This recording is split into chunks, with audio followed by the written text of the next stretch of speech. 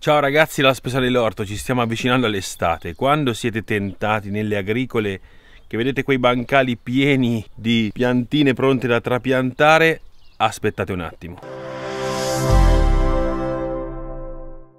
C'è questa simpatica sigla qui. F1. Ma che significa? Semplicemente vuol dire che il seme che ha generato questa piantina viene da un incrocio.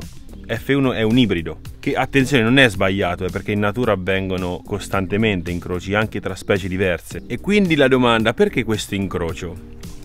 La risposta è per vendere di più, perché questo prodotto deve avere determinate caratteristiche. Adesso andiamo a vederle.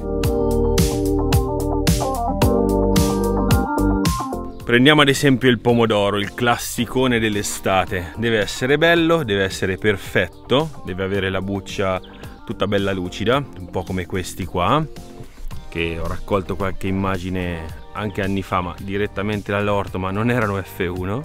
E la sua buccia può essere gialla, arancione, viola, questo per solleticare qualche chef estroso. Ma lo si fa anche perché deve maturare tutto insieme. Attenzione, questa è una cosa molto importante. Cioè, nelle grandi produzioni è, è conveniente che una cosa maturi tutta assieme perché si passa una volta per la raccolta in orto è esattamente il contrario, se no ci dovremmo trovare a mangiare 800 pomodori in una settimana.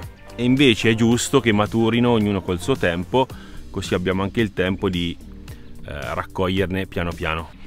Ma quindi perché F1? Perché è una pianta che ha raggiunto determinate condizioni che sono state testate in mesi o anche anni, incroci praticamente tra diverse piantine di pomodoro. In questo caso, ma vale per, tutte, per tutta la frutta e la verdura, fino ad arrivare all'aspetto desiderato, appunto quello vendibile. Voi direte, e allora? C'è un grande però, le multinazionali fanno questo F1 perché se io volessi togliere il seme e ripartire dallo stesso, c'è un video che vi metto qua sopra come estrarre i semi, in realtà eh, questa cosa eh, non, non ha sempre successo, anzi è spesso penalizzante. Vediamo perché.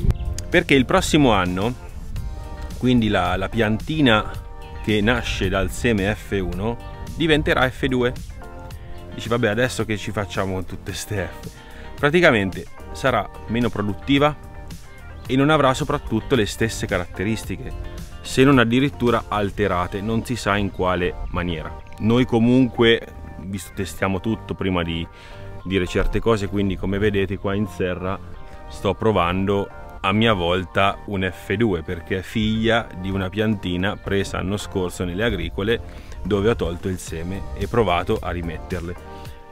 L'80% non viene intanto non germina questa è la prima notizia e il 20% che sta germinando vedremo com'è. Adesso vengono su sono queste qua vedremo alla fine dell'estate che risultati avremo ottenuto con questo cosa vogliamo dire? Non vogliamo dire di smettere di comprare nelle agricole per carità, anche loro devono sopravvivere come tutti, però possiamo in un certo senso non arricchire costantemente i portafogli delle grosse multinazionali che appunto producono questi pomodori, per carità sono bellissimi, sono con queste caratteristiche, quindi la polpa più spessa, qualcuno vuoto addirittura con scritto pronto in insalata.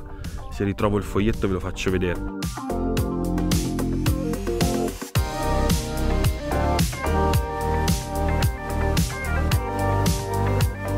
Non è un vero pomodoro che nasce da eh, diciamo anni e anni di, di sementi provati soprattutto dai nostri nonni.